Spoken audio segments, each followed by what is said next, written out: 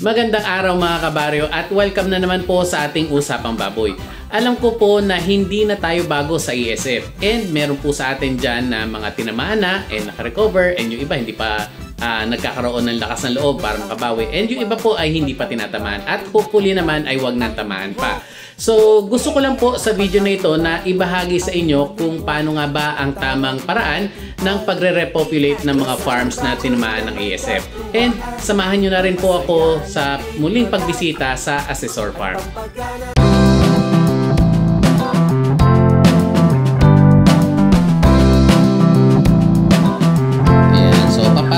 Tayo at syempre may kasama tayo ditong batang paslit ito po ay napulot ko lang dyan sa tabi-tabi.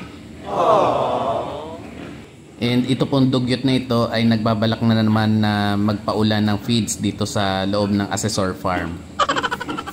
At ito na po. So medyo busy pa po pala. Kaya babalik na lang tayo maya maya. Konti. Ayan. So kumusta na nga po ba ang Assessor Farm? Dahil almost a year na po siguro mula nung huli tayo nakabalik dito. So ito na po siya. At makikita po natin, meron lang tayo dito dalawang pambentang baboy. And then, ito po ay mga barako. Ayan, so gagawin pong barako yan. And ayan po yung itlog, tinatago niya. Baka daw magdalawang isip pa. At gawin pa silang pambenta. Dito po kasi sa farm, ang practice nila dito talaga ay AI. Pero ngayon magkakabarako na sila. And then next, ito naman. So ito naman po ay mga guilds. And mapapansin po natin ano po, hindi masyadong puno ang kanilang mga kulungan. So ito pa, gilts din po ito. So marami po silang idadagdag sa kanilang mga inihin. Try lang po natin i-check yung kanilang mga paa at kung ano-ano pa. So ito medyo parang mamasel na ito. Ano po? Po dapat ay may lipat na sa developer ayan so check lang natin dapat maging mahigpit po tayo sa pagpili ng dumalagad kung ayaw po natin magkaroon tayo ng problema sa future kapag sila po ay naging inihin na. Okay. Yan, ito po ay mukhang dumalagad din. Okay, so mapapansin po natin wala na masyadong fatteners dito. Ano po? Actually, ang Assessor Farm ay tinamaan po ng sakit. Hindi po natin masabi kung ano kasi wala naman pong confirmatory diagnosis na ginawa. Pero ito pong sakit na ito ay parang ASF. Ano po? So, hindi rin natin ma-confirm kung ASF nga kasi nga hindi naman natin napatest. So, previously po talagang wala nang laman halos dito sa farm pero ngayon po makikita natin Marami na silang mga gilts na pamalit at ito nga po ang mga bagong produce nila na mga piglets. So medyo on the road na po sila sa recovery. Sa ngayon po, meron ditong apat na kulungan na punong-puno ng piglets. So ito po yung mga yan. And konting panahon na lang po, kaya na nilang tumalon dito sa mga kulungan nila. So mag-ahabulan sila lagi dito sa building. Okay, so napakarami po nilang mga biik. And hopefully ito po mga ito ay tumama sa presyo. And ito pa. So lahat po ng kulungan dito sa assessor farm ay okupado. Ayan. Then dito naman ay mga inihin nila. So meron po dito gestating. Then meron pa rin po pala ditong isa. Baka ito ay dry sow So ito po yung kanilang gestating and lahat din po ng kulungan ay okupado. And mapapansin po natin itong mga inihin nila dito ay mukhang mga bata pa. So siguro po ay nasa 1 to 2 parities pa lang. Kasi ito nga po ay mga bagong inihin after po nung nagkaroon ng sakit dito sa farm. Okay, so ayan. Yung iba po dito yung mga buntis na. Ito medyo baka ito ay dry. Ito pa. So meron din po sila ditong isa at ang pangalan po nito ay si Special. Yan. So bakit po special? Kasi meron po siyang special na kakayahan na hindi lumaki kahit limang buwan na siya. Ayan. Cute na cute pa din. So ito po ay nire-recommenda natin na ipaletsyon na lang dahil medyo malapit na rin naman po ang birthday ko.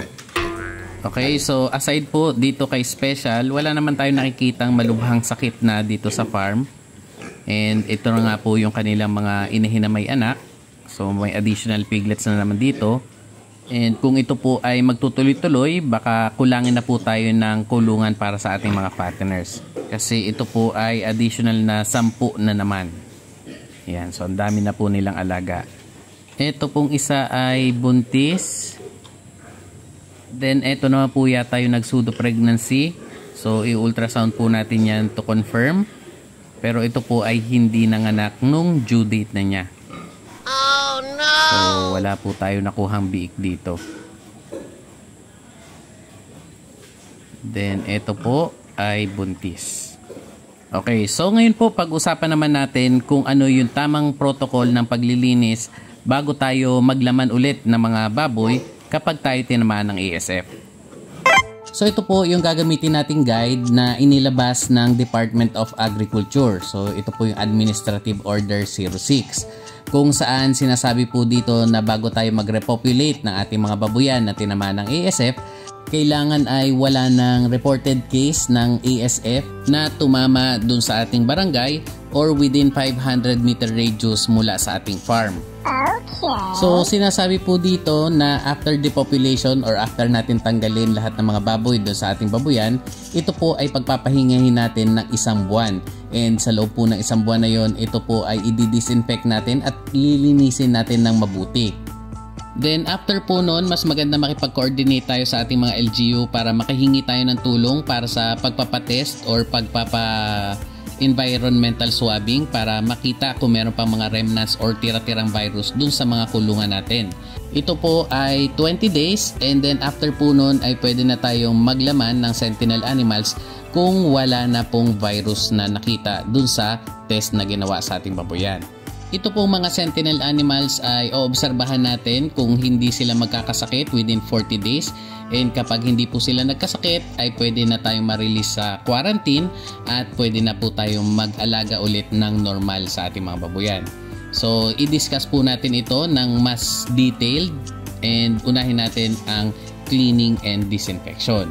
Okay. So after po natin ma-depopulate yung ating mga farms, uh, importante po dito na linisin natin yung mga kulungan at yung paligid ng ating mga buildings at tanggalin po natin yung mga porous materials ano po.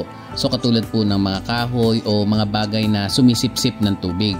So yung mga lona or trapal, tanggalin na rin po natin yan. And yung mga hindi po kayang tanggalin ay linisin po ng mabuti. Actually, yung iba po ay gumagamit pa ng blowtorch para linisin. Ano po? So yung pong ating mga lagoons, tanggalin din po ang laman and linisin din po yan and itreat po natin ng hydrated lime. And then pagdating naman po sa disinfection, so maraming beses na po tayo nagdi-discuss ng proper disinfection ano po. So dito lang po, ito pong uh, process na ito, itong rest period na ito ay tatagal ng isang buwan and sa isang buwan po ay at least tatlong beses tayo magdi-disinfect ng maayos. And then uh, make sure po na malinis yung mga kasulok-sulukan and yung mga butas-butas dyan sa mga dingding and sa mga sahig na posible pong pagtaguan pa ng mga virus. Then, pwede rin po tayong gumamit ng caustic soda and hydrated lime. And kung magdi-disinfect po tayo, pwede tayong gumamit ng mga disinfectants na effective against ASF. So, katulad nga po ng ating Microban GT. So, dito po, pinapakita lang natin yung ginagawang pag-disinfect sa Assessor Farm. So, importante po yung tamang contact time. Ano po?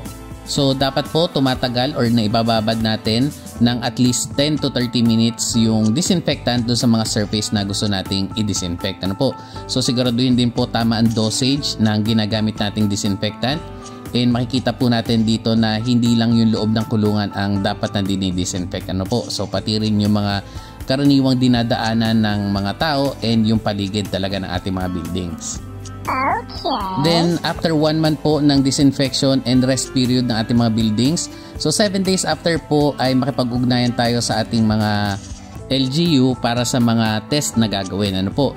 So kung dito po ay may makita pa rin na virus or mga remnants ng virus, kailangan po natin na ulitin yung mga proseso ng paglilinis natin.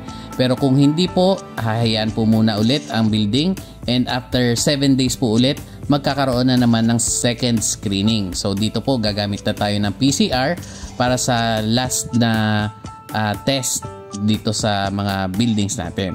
And then kapag negative po ang result, so dediretso na po tayo sa kasunod na step which is sentineling na. Dito naman po sa Sentineling, importante rin po na makipag-coordinate tayo sa ating mga LGU para malaman nila kung tayo po ay naglalaman na ng mga baboy. Then dito po, bibili tayo ng mga starter stage na mga biik, 10% po ng dating laman ng ating mga baboyan. So kung halimbawa tayo nag-aalaga ng isang daan, so bibili tayo ng 10 na starter at ito ipagagalain po natin dun sa ating mga buildings. So, oobserbahan po natin ito for 40 days and then may mga test pa rin pong gagawin and imo-monitor kung sila po ba ay magkakasakit. Kung magkakasakit po, uulitin na naman natin ang proseso. Pero kung hindi, ay okay na po tayo. So, marirelease na tayo sa quarantine and pwede na po nating i-resume yung dati nating operation. So basically po, ang sentinel animals natin ang magsasabi sa atin kung talagang wala nang laman na virus dun sa ating mga farms. Although, importante pa rin po yung mga proseso na diniscuss natin kanina. Pero minsan po kasi wala tayong way para makapagpa-test ng ating mga farms or yung mga environmental swabbing na ginagawa. So yung iba po sa pagkakaalam ko lalo na sa backyard ay ang ginagawa lang ay rest period for 2 months then proper and madalas na disinfection and sentineling. Ano po? So nire-remind lang po natin na huwag kayo agad-agad mag-alaga ng maraming baboy kasi kapag tinamaan po yan ay malaking lugi na naman sa atin. And maganda rin po na i-share natin yung plano nating repopulation sa ating mga LGU. Ngayon, after po tumama nung sakit dito sa Assessor Farm na umubos ng kanilang mga baboy, ano na nga po bang nangyari? So instead po na tumigil sila, ito po at meron na naman silang bagong building for expansion na naman. So ito pong building nila, hindi na rin tayo papasok. Ito po ay ayan ang itsura. So mga farrowing crates na po sila or farrowing pens. And tuloy-tuloy pa rin po ang plano nila na magkaroon ng 20 sow level farm. Ayan, so sakto na po yung kanilang pang-inahin ang kukulangin naman sila ay pang fatteners. So malamang tuloy-tuloy pa rin po ang pag-expand ng farm na ito kahit na tinamaan sila ng sakit na hanggang ngayon po hindi natin masasabi na ASF dahil wala naman po tayong confirmatory test na ginawa. Okay, so yan po muna mga kabaryo. Hanggang dito na lang po muna ang ating video and shoutout na po sa ating mga kabaryo. Pagbati po kay Sir J. Torano, Sir Domer Ichon from Japan, and Boss Amo from Bicol. So thank you po for watching and sa lahat po ng ating mga kabaryo, salamat po sa patuloy na suporta at tiwala sa ating channel and mag-iingat po tayo palagi.